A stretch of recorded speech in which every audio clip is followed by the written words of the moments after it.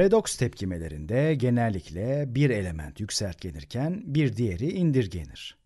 Ama bazı redoks tepkimeleri istisnadır. Bir madde aynı tepkime içinde ve aynı anda hem yükseltgenebilir hem de indirgenebilir. Bu tür tepkimelere disproporsiyon, disproporsinasyon tepkimeleri deniyor. Hidrojen peroksitin ayrışma yani bozulma tepkimesi de bu tür tepkimelerin en çok bilinenlerinden biri. Şimdi bu tepkimeyi incelemeye başlayalım. Bu sol tarafta gördüğünüz hidrojen peroksit H2O2. Eğer hidrojen peroksite potasyum iyodür gibi bir katalizör eklersek su ve oksijen elde ederiz. O zaman öncelikle bu tepkimeye giren atomların yükseltgenme basamaklarına bakalım. Su ve oksijenden başlayalım. Aslında yükseltgenme basamaklarını bulmanın farklı birçok yolu var. Bunların en basiti genel kimya kitaplarındaki kuralları ezberlemek.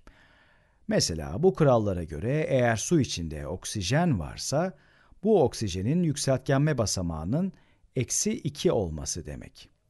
Ama eğer oksijen O2 halinde ise bu da yükseltgenme basamağının 0 olduğunu gösterir. Solda gördüğünüz hidrojen peroksit ise oksijenin nadir olarak eksi bir yükseltgenme basamağında görüldüğü örneklerden biri. Aslına bakarsanız bütün bunları ezber yapmanız mümkün. Ama noktalı yapıları çizmek ve elektronegatiflik değerlerini de düşünerek yükseltgenme basamaklarını bulmak da bir başka yol. Bu yüzden bence bu yolu da bir deneyelim. İlk olarak suyla başlayalım. Bildiğiniz gibi bu bağlar iki elektrondan oluşuyor. O zaman bu elektronları buraya çizebiliriz. Diğer yandan oksijenin hidrojenden daha elektronegatif olduğunu biliyoruz. Demek ki bu yönden düşününce elektronların oksijene doğru gittiğini söyleyebiliriz. Yani gerçekte öyle olmasa da bu bağı iyonik bağ gibi varsayabiliriz. Oksijen bütün bu elektronları alacak. Esasında oksijenin 6 tane değerlik elektronu var. Evet, normalde 6 tane değerlik elektronu var. Ama burada 8 tane elektronla çevrelenmiş durumda. 6 eksi 8 bize eksi 2'yi veriyor. Bu sayıyı fark etmişsinizdir. Biraz önce ezbere söylediğimiz sayıyla aynı.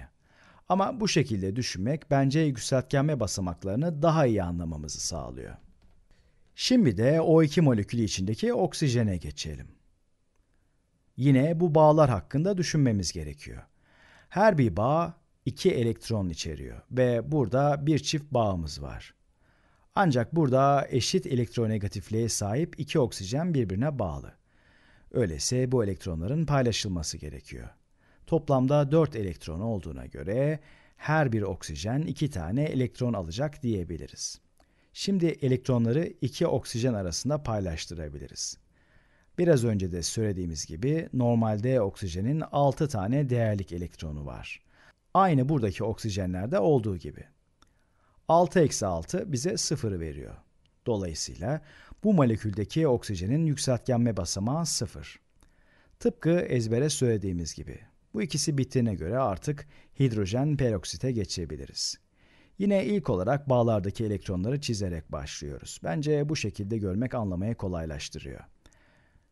Öncelikle oksijeni düşünelim. İki tane var ama biz önce soldakini inceleyelim.